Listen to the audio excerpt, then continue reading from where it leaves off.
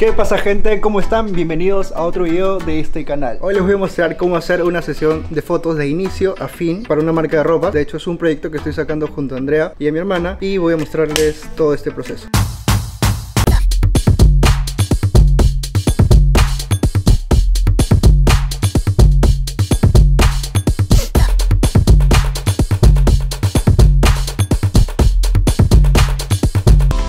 utilizar esta Sony A7 III y voy a utilizar su lente de kit así que voy a aprovechar para hacerle un mini test a este objetivo que es el 2870 3.5 5.6 vamos a ver qué tal se comporta este objetivo en fotos en estudio y luego vamos a probar fotos en exteriores. Voy a utilizar también dos flashes de mano Yongnuo 563 y otro que es el 564 y voy a utilizar solo un softbox me parece que es 60 x 60 es uno cuadrado y el otro flash lo voy a rebotar al techo. Así que vamos a ver qué tal queda la foto ya tenemos el fondo más o menos acá como pueden ver levantado, listo para que esté ahí la modelo. Pero vamos a tratar de no ensuciar tanto este de acá, así que lo que vamos a hacer ahora es pegarle cinta en la parte de abajo de las zapatillas para que no ensucie la base del fondo.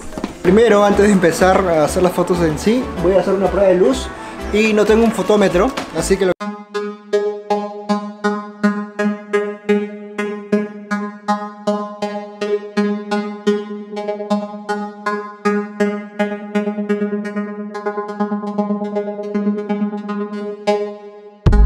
hacer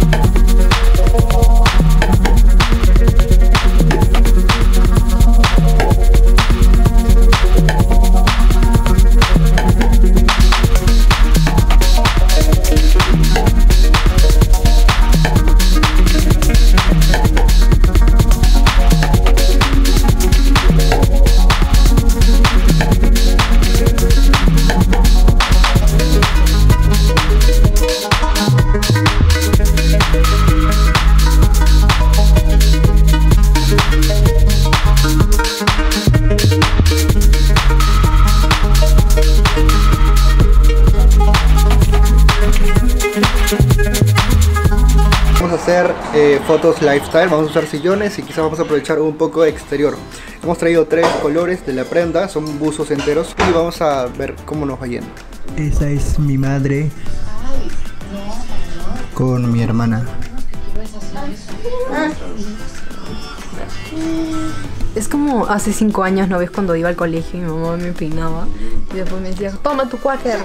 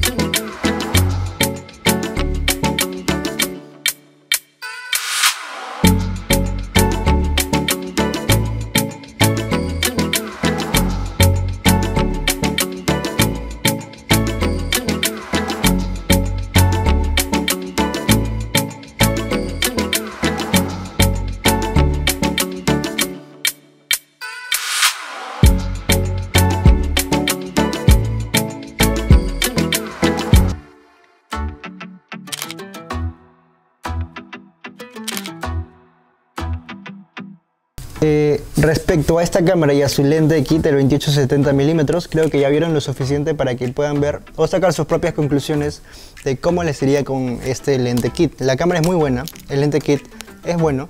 Eh, les voy a dar mis opiniones. Cuando hice las fotos en, estudio, eh, el foco no era preciso. Cuando yo hacía foco, la cámara me indicaba que sí estaba enfocando, pero al revisar las fotos el foco no es preciso porque no tengo una luz de apoyo. Cuando no tienes una luz de apoyo, creo que ahí sí el foco te puede fallar un poco. Pero si tienes luz del sol directamente en exteriores o puedes, puedes quizás montar unas luces de apoyo como estos LEDs, el, foco va a ir muy bien. En exteriores, eh, de 10 fotos me habrá fallado una foto en ráfaga, eh, el enfoque, pero de ahí muy bien. No he tenido problemas a contraluz en exteriores, así que para hacer un lente kit está muy bien, la calidad de imagen igual está bien. La construcción sí se nota que es un lente un poco eh, ligero, es de plástico, pero una vez que haces las fotos te das cuenta que este pequeño objetivo te puede sacar de muchos apuros, a pesar de ser un lente kit. Lo recomiendo, sí, tiene una buena calidad, eh, lo que no me gusta mucho es la variable de todos los objetivos kit que van de 3.5 a 5.6 cuando movemos el anillo del zoom. Eh, es lo único que me fastidia, pero de ahí todo bien. El objetivo kit eh, de todas maneras viene con su parasol, este pequeño parasol, que si no tienes dinero, creo que esta es una gran alternativa para que puedas igual zafarte hasta que puedas ahorrar más dinero para un buen objetivo. Así que hasta acá ha llegado este vlog haciendo fotos con este, esta cámara y este objetivo kit. Si quieren ver un video quizás cinematic con este objetivo lo voy a hacer, eh, así que atentos a mi canal. Vamos a hacer un review de este objetivo en video.